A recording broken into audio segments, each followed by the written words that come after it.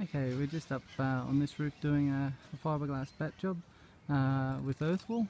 And so uh, this is our 3.5 earth wool 580s we're putting in here. And you can see I've got a pack on the roof there and we've got the tiles open. That one's about to go in there.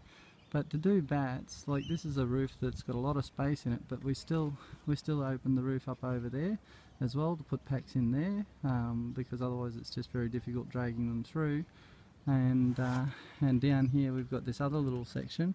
And so we've opened the roof up here as well. And to open the roof up to get batts in um, we just find a join in the batten right? Uh, so that one, that side there had a join in it. And then I cut through on this side and then we screw it back down afterwards. So so that's the the normal process to screw that back in afterwards. But that way we can get off a full pack in here at a time because otherwise it'd be impossible to do the job. Now, um, but that's the big difference, or one of the big differences between batts and other products is that they are difficult, or more difficult to get into the roof. Now, I'll just climb in and show you the, the job. Now, we haven't um, finished in here yet because that's why the why the um, other pack was still on the roof, and so I've got to pick up that that empty one there but basically you can see it's all it's all done.